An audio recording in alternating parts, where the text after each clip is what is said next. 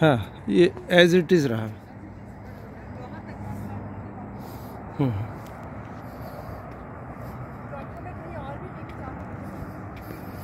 हम्म।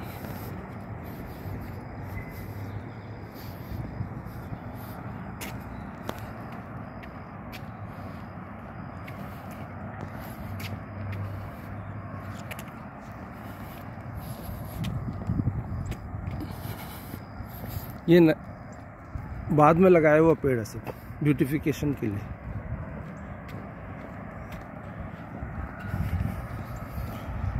Good morning friends आज सुबह सुबह डैलस में मॉर्निंग वॉक के लिए निकले हैं सिस्टर के साथ। सिस्टर रेगुलर मॉर्निंग वॉक में जाती है, इसलिए वो हमसे बहुत फास्ट है। हम काफ़ी स्लो हैं, लेकिन यहाँ का व्यू जो है वाकई इम्प्रेसिव है। देखने से हर चीज़ यूनिकनेस है यहाँ पर।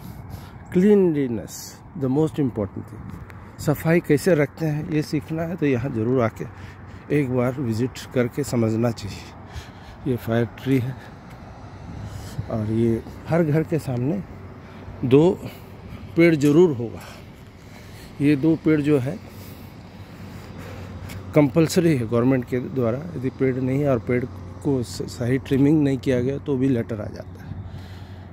काफ़ी आगे निकल चुकी है। और वो पैथवे में कोई एक कार खड़ी है जो रूल के अगेंस्ट है, फिर भी ठीक है। बाहर निकल के जाना पड़ेगा, नहीं तो मेन रोड से हट के एक पाथवे ज़रूर बनता है, उसी में से जाना होता है। और ये कहीं प्लेन उड़ रही है, यहाँ से हमेशा प्लेन की आवाज़ आते रहती है। Thank you